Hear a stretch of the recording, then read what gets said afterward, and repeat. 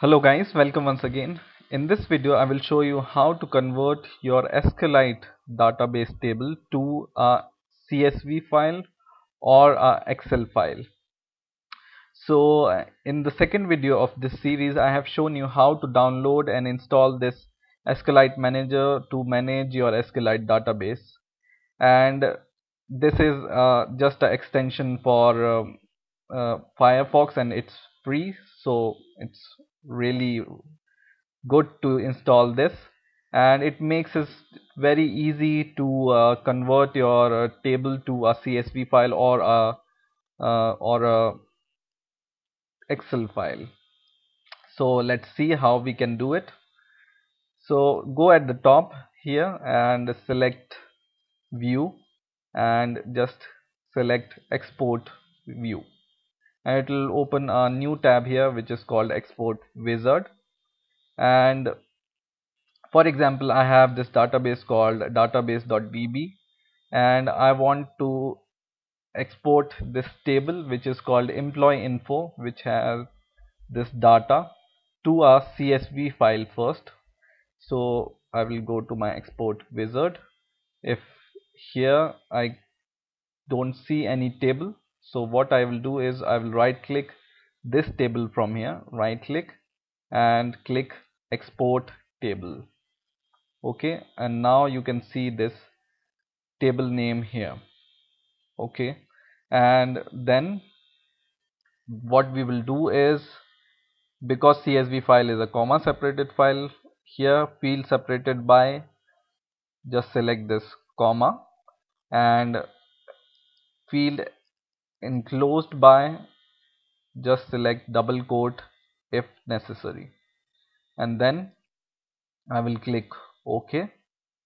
And then here it will you can change the name of your uh, table or you can leave it by default like this. But don't forget to give the extension dot csv because it's a csv file right? So just uh, save it like this and click save. And you can see here nine records exported to the location. And once you have exported your file you will be able to see it in your uh, saved location wherever you have saved this CSV file. And just right click it open with Excel. And you will be able to see all the data here which is separated by comma. Now suppose you want to uh, export your table to a excel file. You don't want this csv file because for some reason it's not useful to you. So let's go to our database once again. And once again for example i want to save this or export this uh, table as a excel file now. So what i will do is in the csv tab i will select first of all first row contains the name of the column. Okay? So it, this row or first row will contain these name of the columns. And then because your excel file is separated by tab. So just select this tab here and this will remain the same and I will click OK here.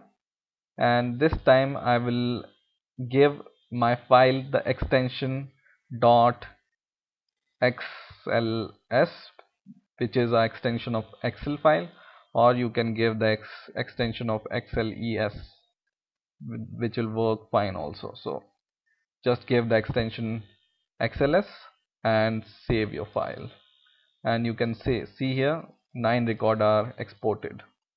And once again I will go to my saved location and you can see it here.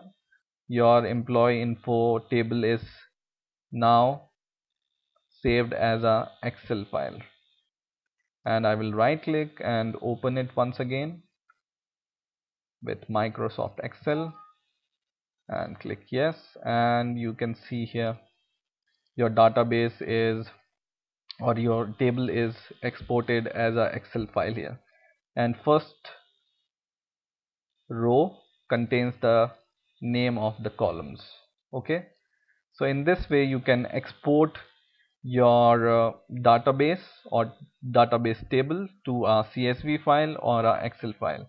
I hope you have learned something new this time. Please rate, comment and subscribe and bye for now.